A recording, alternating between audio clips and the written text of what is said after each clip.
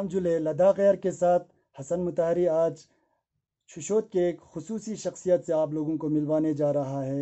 Add पलगा रिम्बो छेले जुले पलगा रिम्बो छेले। तो सबसे पहले रिम्बो छेले में आपसे तह दिल से शुक्र अदा करता हूँ रिम्बो छेले कि आपने अपनी कीमती वक्त में से टाइम निकाल के हमें टाइम देने के लिए रिम्बो छेले जुले रिम्बो छेले। तो रिम्बो छेले सबसे पहले मैं एक रिम्बोचे बनने तक का स्टेज कितनी मशक्क़त मेहनत और जहमत करनी पड़ती है इंसान को एक रिम्बोछे बनने तक के लिए। तो इसके बारे में आप थोड़ा रोशनी डालेंगे रिम्बोछे ले। कैसे? हाँ शुक्रिया। और अब बौद्ध धर्म में क्या होता है कि दो तरह के गुरु होते हैं। जो। कॉमन जो गुरु होते हैं जो आम गुरु जो होते हैं जो मंक जो होते हैं वो बचपन से मतलब उनके माता पिता मंदिर में भर्ती करते हैं जैसे हम स्कूल में बच्चे भर्ती करते हैं। जी। अब जो जो रिम्पूची जो होता है वो बचपन से हमारे जो गुरुजी होते हैं हमसे जो बड़े हमारे परम पावन गुरुजी होते हैं जैसे मेरे गुरुजी गेलोंग रुपा जी। वो हमें चुनते हैं। और उनको उनकी तपस्या में दिखता है कि मेरा पिछला जन्म जो था उसका मतलब मृत्यु के बाद कहाँ पर पैदा हुआ है। तो वो अपने चेले को बेचते हैं कि कहते हैं कि इसको आ, इसका पैदा यहाँ पर हुआ है। तो मेरा पैदा मेरा मैं चुशु में पैदा हुआ हूँ तो गुरु जी ने अपने चेलों को भेजा और उन्होंने मुझे चुना। तो उसके बाद नाइनटीन नाइन्टी टू में यहाँ से मैं हिमाचल प्रदेश में जहाँ हमारा एक मंदिर है वहाँ पर गुरु जी ने मुझे भेजा। वहाँ पर फिर मेरी पढ़ाई लिखाई हुई। उसके बाद फिर 2000 में मैं एक बुद्धिस्ट फिलोसफी के यूनिवर्सिटी में पाँच छः साल तक स्टडी किया। उसके बाद काफ़ी सालों मैंने यूरोप और अमेरिका वगैरह में मैंने बिताया। वहाँ पर थोड़ा सा स्टडी किया थोड़ा सा काम किया थोड़ा सा एक्सपीरियंस मैंने गेन किया जैसे आप आम आदमी करते हैं। उसके बाद वापस आया फिर कुछ सालों तक मैंने पहाड़ों में तपस्या की रिट्रीट मेडिटेशन की। अब अभी दो तीन साल तीन चार साल से मैं लद्दाख में हूँ और यहाँ के लोगों की सेवा करने की कोशिश कर रहा हूँ। जी जी। नाजरीन अभी रिम्बोचे लेने अपने हालात ज़िंदगी के बारे में एक रिम्बोचे बनने तक का स्टेज के बारे में नाजरीन आप लोगों को बताया। तो रिम्बोचे ले आज के दौर में जो ख़ासकर इसी साल में जो कोरोना वायरस जो एक कोविड नाइन्टीन जो बीमारी आए हुए है तो काफ़ी देखने को ये लग रहा है कि लोग काफ़ी स्ट्रेस है रिम्बोचे ले तो ऊपर से लोगों के सारे काम काज रुके हुए हैं। तो इसके बारे में रिम्बोचे लिए थोड़ा लोगों के हौसला अफजाई के लिए, थोड़ा लोगों के हिम्मत के लिए थोड़ा आप इस पर रोशनी डालेंगे अब देखिए जब से ये खतरनाक बीमारी जो है आया हुआ है जी। ये केवल चीन को ही नहीं अमेरिका को ही नहीं भारत को ही नहीं मतलब सारे देश को इसने ठप कर दिया आ, मेरे ख्याल से ये हमारे इंसानों के लालच का एक नतीजा है। ये हमारे लालच की वजह से हुआ है। आ, हम लालची बनते जा रहे हैं हम पेड़ों को काटते जा रहे हैं हम अजीब से अजीब जानवरों को खाते जा रहे हैं। हम अजीब से अजीब जगहों पर खुदाई करते जा रहे हैं पहाड़ों को तोड़ते जा रहे हैं बाईबंदी जो है वो टूटता जा रहा है तो हम बुरे कर्म करते जा रहे हैं। तो बौद्ध धर्म की अगर नज़रिए से हम देखते तो उसको हम कर्म कहते हैं। इस्लाम के नज़र से देखें तो हम उसको अल्लाह ताला का आ, क्या कहते हैं गुस्सा कहते हैं है। ना? उन, उनका सजा कहते हैं। लेकिन नतीजा सेम होता है। नतीजा ये होता है कि हमें दुख होता है लोगों को दुख होता है जो अभी पूरी दुनिया को हो रहा है। तो मेरा ये समझना है कि अभी जब से ये कोरोना वायरस आया हुआ है जब से हम हमें ये दिक्कत हो रही है आ, हमें जो डिप्रेशन होता है हमें जो मन का जो बीमारी होता है जो दुख दर्द होता है उसका जो उपाय सोल्यूशन जो है वो अगर हम गंदी गंदी चीज़ें जैसे शराब ड्रग्स और कोई जैसे अयाशी करते हैं उनमें ना ढूंढ के अगर हम अपने धर्म में ढूंढेंगे तो हमारे धर्म में बहुत सारे उपाय हैं चाहे वो बौद्ध धर्म हो या इस्लाम हो। बहुत सारे उपाय हैं जिससे हमें मन को सुकून मिलता है। और मैं ये हमेशा मानता हूँ कि माइंड ओवर मैटर अगर आपका मन तंदुरुस्त है तो शरीर भी आपका तंदुरुस्त हो जाता है। तो मेरा ये मानना है कि अगर हम प्रार्थना करेंगे मेडिटेशन करेंगे अब अल्लाह ताला की याद करेंगे बुद्ध भगवान की याद करेंगे एक दूसरे से बाईबंदी जो है उसको टूटने नहीं देंगे। हम आपस में मतलब प्यार और रिस्पेक्ट से इज़्ज़त से हम पेश आएँगे। तो ये बीमारी मेरे मेरे ख्याल से कुछ भी नहीं है। लेकिन अगर हम इस बीमारी से सबक नहीं लेंगे अभी जो कोविड नाइन्टीन आया है तो हो सकता है कि बाद में कोविड ट्वेंटी भी आ सकता है कोविड ट्वेंटी वन भी आ सकता है। इससे और भी भयंकर बीमारी आ सकता है। तो मुझे लगता है कि हमें इससे सबक लेके एक दूसरे से प्रेम करुणा मैत्री इज़्ज़त जो है उसको हमें और बढ़ाना चाहिए। बिल्कुल।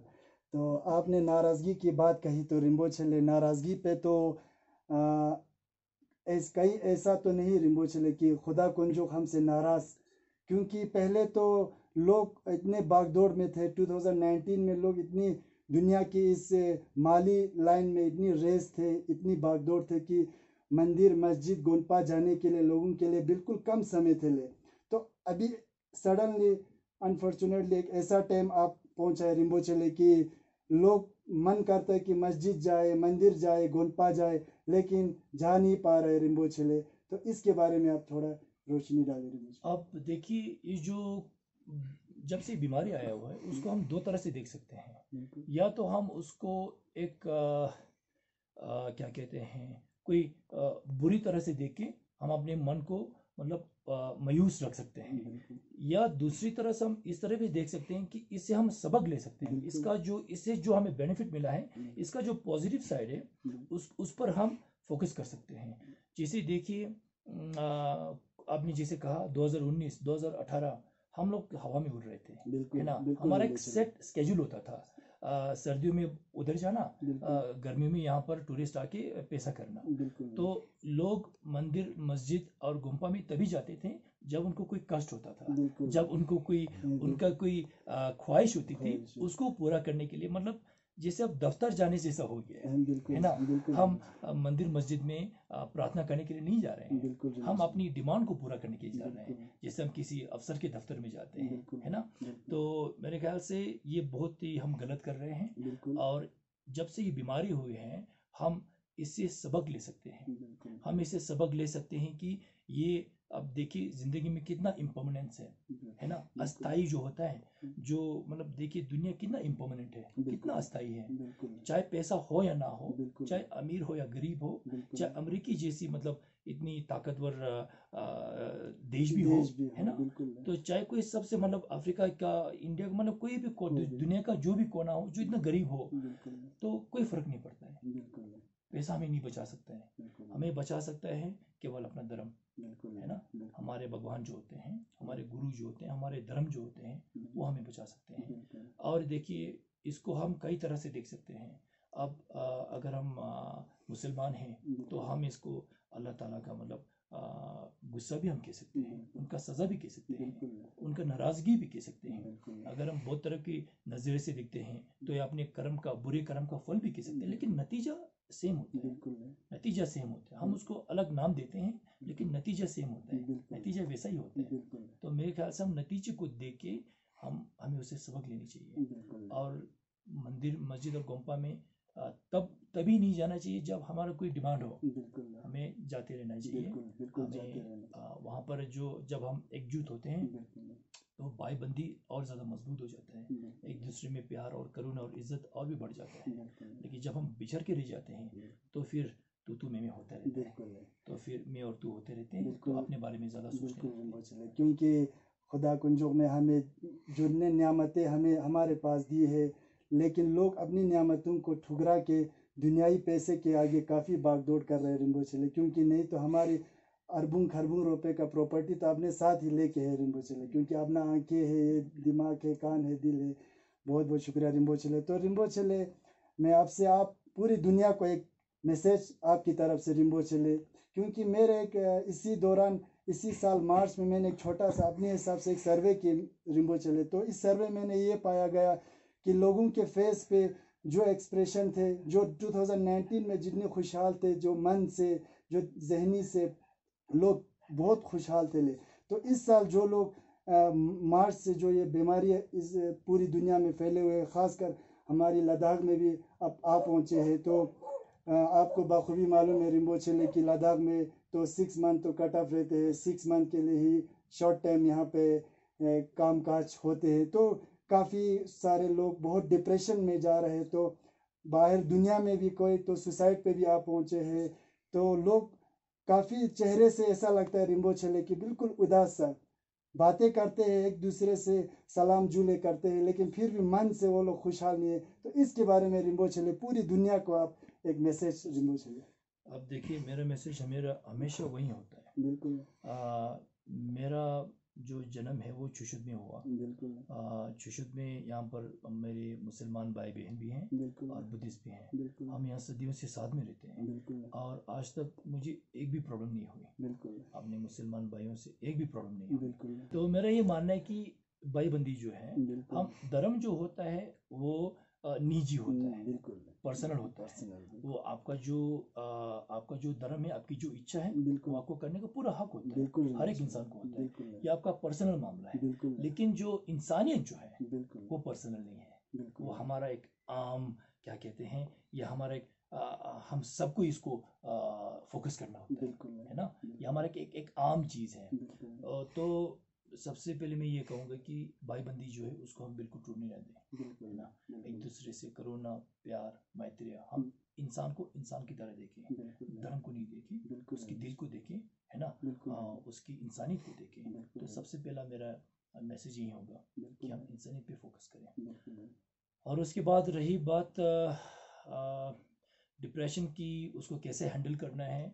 मैं फिर भी यही कहूँगा कि अगर आप मुसलमान हैं तो आप अल्लाह को याद कीजिए है ना? आप प्रार्थना कीजिए कुरान को पढ़िए।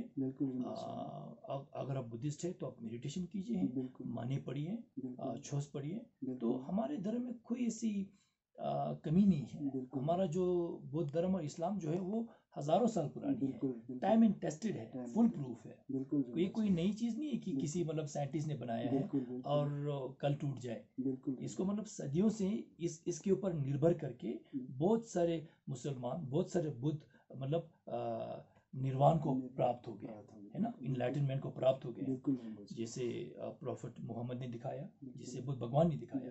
तो मेरा यही मानना है कि अगर आपको डिप्रेशन होता है अगर आप में मतलब कुछ अनाप शनाप आप सोचते रहते हैं प्रार्थना कीजिए मेडिटेशन कीजिए और जब आप दूसरे से मिलते हैं तो उनकी इंसानियत को देखिए उनके धर्म को मत देखिए बिल्कुल। उनकी उनका जो रंग जो है उनकी आँखों का जो साइज़ जो है है ना?